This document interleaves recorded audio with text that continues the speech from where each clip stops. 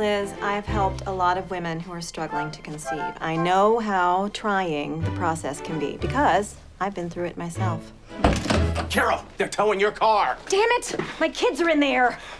No, how? I came all the way up to Westchester just to avoid you. This is Westchester? I am lost. Now, fertility shots. That's a euphemism, right? No, my husband and I are trying to conceive. I'm going to write you a prescription for progesterone injections. That's a female hormone. Now, I know what you're thinking, and the answer is no. If a man takes it, he won't grow breasts. Although that would be awesome. No money for the whorehouse? That's fine. I'll just look down while hiding my crotch with an oriental fan. Injections? Injections? Yeah, injections. Are you Dr. Leo Spaceman? Come with us to Washington. You've just been named Surgeon General of the United States. hey, that's a series wrap on Leo's Spaceman, suckers!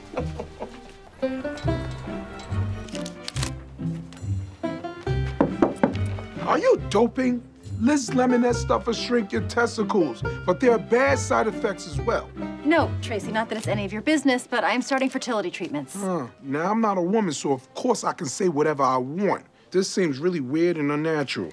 Side effects include mood swings, increased irritability, and swelling of one or more boobs. Can I help you with something? Yeah, I'm about to start shooting my new Harriet Tubman movie, and I got Octavia Spencer to play the lead. Harriet something. You know, I once played Frederick Douglass in a one-woman show that the University of Maryland Diamondback called Too Confusing to be Offensive. Point is, I won't be at rehearsal at all this week. No, Tracy. Exactly. No Tracy.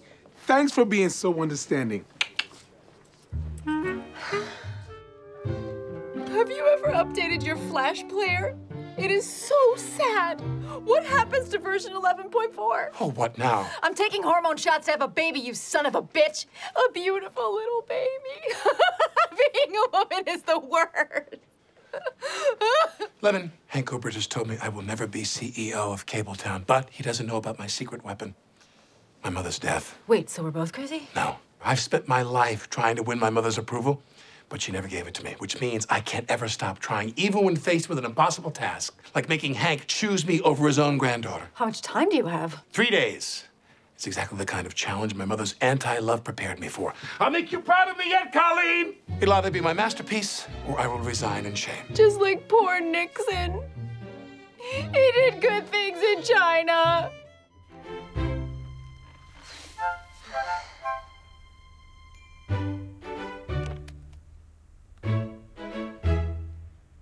Hi, Bev, it's Liz. Oh, Liz! Yeah, definitely don't give me your last name because I only deal with one person a year, so I know exactly who you are. It's Elizabeth Lemon. Uh, I've been on the agency's list for a few years now. I wanted to see if you got my letter updating my marital status. Oh, yes, congratulations. You've moved from the well-meaning lesbian pile to found a man, comma, living a lie.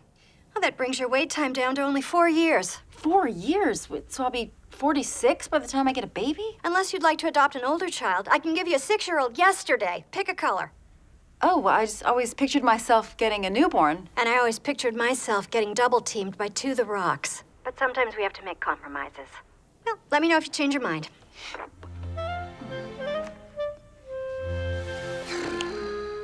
What's going on here?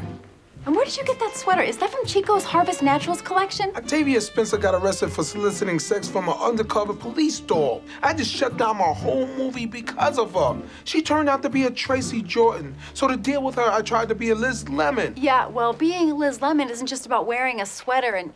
Hey, those are my glasses. Oh, and you popped the lenses out? No, they shattered in the urinal. El, I don't know how you do it. I couldn't hack it with Octavia for one day, and you've been getting amazing, thought-provoking work out of me for seven years. Thanks, Trey. I mean, it hasn't been easy. When you first came into my life, you were out of control and you had horrible habits. Like my booger eating? Please, let me just have one. I need it, baby. Taking care of you has been exhausting. You'd fight me and have temper tantrums and I'd have to stay up all night because you were sick. Hey, those Lego men were on a rescue mission to save the other Lego men that I swallowed. But as problematic as you were, I had no choice but to make it work. Elizabeth Bart, you are an amazing woman. Seriously, if you can take care of me, you can do anything.